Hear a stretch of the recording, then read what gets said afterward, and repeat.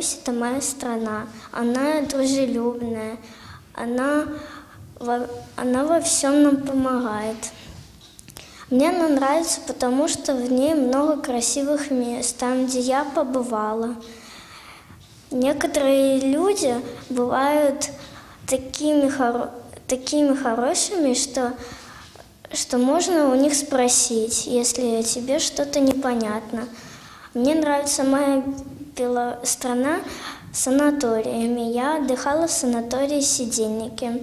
Там было очень красиво. Был клуб – был бассейн, была, был корпус, в котором можно было лечиться.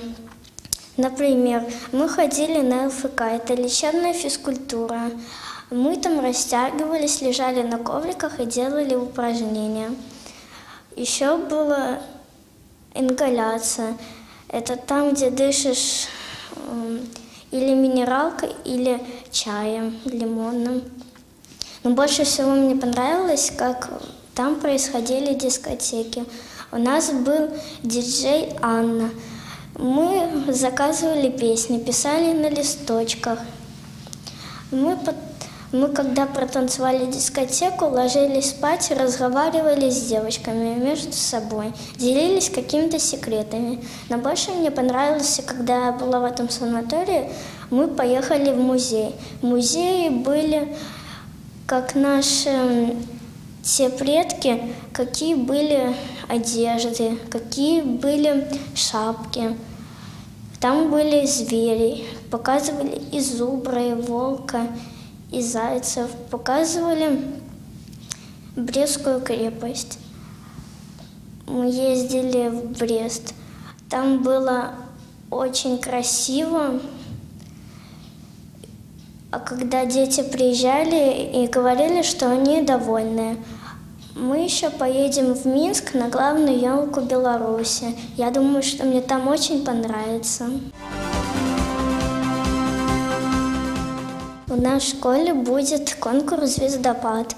Туда принимают участие, участие талантливые дети.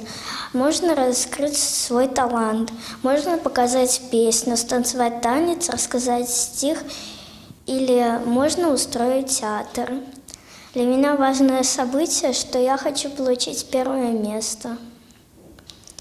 А второе событие, что я должна хорошо учиться. Моя мама хочет, чтобы я попала на доску почета. Для этого я стараюсь. У меня в дневнике одни десятки и девятки, и несколько восьмерок. Поэтому я хорошо учусь и добиваюсь первого места. В школе моей мы учим французский язык. У нас учительница Дедицкая Светлана Владиславовна. Она учительница добрая. Она нам рассказывает, делает, чтобы было все понятно. И когда я вырос, я хочу попасть в Париж и посмотреть на него своими глазами.